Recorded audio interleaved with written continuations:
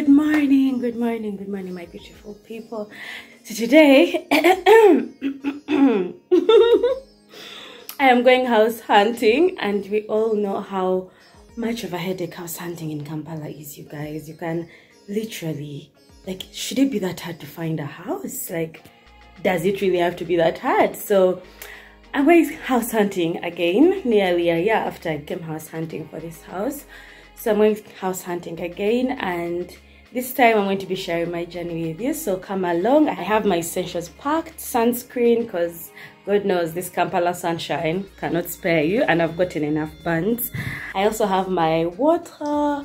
I hate taking water. I find it so hard to take water so I prefer if I flavor it either cucumber or lemon or anything literally. So my water, my sunglasses from iCandy, iCandy UG on Instagram check them out. They have really really really amazing sunglasses. Last but not least my mask because safety is yeah safety first. Safety is essential so yeah let's go.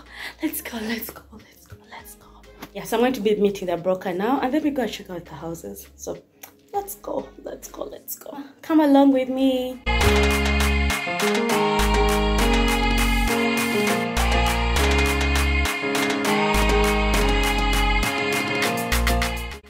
Finding the right house in Kampala can be quite hectic, and in this case, my search criteria was a two bedroomed house, preferably a two bath, because my siblings are constantly staying with me. And this was the first house that the broker took me to. It had two bedrooms, which were not so small, not so big. They were perfectly sized rooms, and I really, really couldn't complain.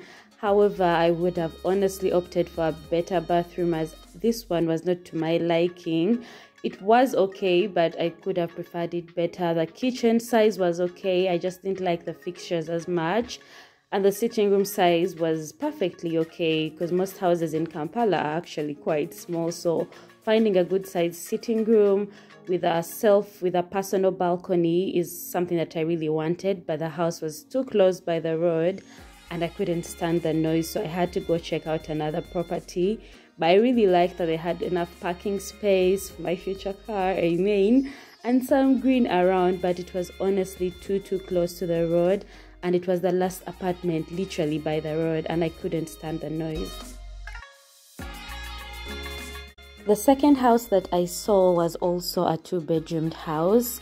The bedroom size was good, it was okay, and I like that it has two windows in the bedroom, which meant proper lighting because proper lighting was another thing I really, really wanted in the house, especially being a YouTuber and a content creator.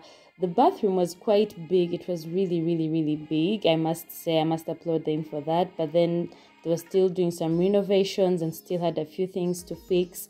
The kitchen size was okay. There was was a small kitchen balcony behind. I liked that it had kitchen cabinets already installed and I didn't like the metallic door for front door, but I wouldn't complain about that as much. I also liked the sitting room size. I didn't fancy the wooden rim around. The views were quite okay. It looked more residential and it was more quiet compared to the previous house, the first house that was by the roadside. The parking space was quite there. I think it would fit about the exact number of cars for the exact number of units, six units, six cars. Having seen the previous two options, I wasn't as satisfied as I wanted to be with what I was looking for. So we proceeded to look at house number three, which was also on the first floor. I really do not like ground floor units. Now this one was quite interesting. It had a view. If you know me, you know I love, love views. I love sunsets. I love sunrises. It had quite a big living room and I must say this one was quite interesting because the kitchen was like a whole other separate house unit for itself and it had a small store which was a plus for me. It had a behind balcony a small balcony for the kitchen which was nice but then the kitchen cabinets had not been installed. Went ahead to look at the bathrooms and the bedroom. It was a two bedroom also the bathroom in this one was on the smaller end for me. I really really didn't like the bathroom. I don't like very tiny bathrooms and it was not yet completed. The bedrooms were on the smaller end slightly smaller than the two previous ones and i didn't like that there were no wardrobes installed yet but that's not something to worry about as they can always install the wardrobes. And the parking space seemed sufficient for the number of units that were there and this is why I say it was interesting. There were two doors to the house one to the kitchen one to the living room. This point i used a different broker. We had exhausted all the options the first one had to offer me and i really liked the kitchen in here. I liked the kitchen cabinets. This was literally my dream kitchen. The countertops everything the bath the washrooms and the rooms are had a good size i should say I can assure you that at this point I was quite exhausted, but that, my loves, is what it takes to get a really good house in Kampala, one that will match everything that you're looking for. So this was a two-bedroomed house too. The wardrobes were literally at the entrance of the one of the bedrooms and I wasn't sure how to feel about that. It had a small balcony at the back, it had a bathtub in the bathroom which I liked. Also liked the kitchen countertops, the living space, but then it was literally by the roadside and the noise. Was now house number six. Yes, I know, house number six. This was still a two bedroomed house. The kitchen was on the good end. It had good kitchen cabinets, it had storage space. The bathroom was alright, it had a heat. I liked that. But then I didn't like the lighting overall in this house. It wasn't to my liking. I liked the wardrobes though, but the rest of the house wasn't up to my general liking. I don't know, for some reason, and I also didn't like that it didn't have a balcony. I am I am a person for views, so I really, really, really do love my balconies and preferably a personal balcony. So the fact that this didn't have the balconies uh -uh, and also the lighting wasn't so okay, but then it had ample parking space for this house was on our way to another property we were going to see. It was cute but then it was a one bedroom and yet i was looking for more space for my family and i.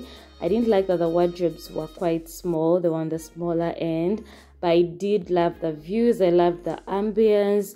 It was literally close by it was close to the road without being by the roadside so the noise wasn't as much. And the parking space was really good it had a cute outlook outside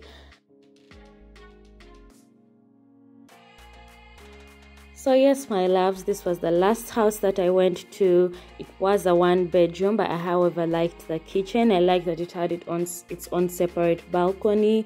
But the rooms were on the smaller end. The sitting room was a bit small for me, and so were the bedrooms. But I liked how it looked like outside. It's a place I would definitely live. It had ample parking space.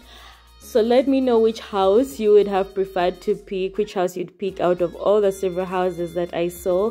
Give this video a thumbs up. I'll leave the broker's numbers in the description link. And that, my friend, was a day of house hunting in Kampala. Till next time.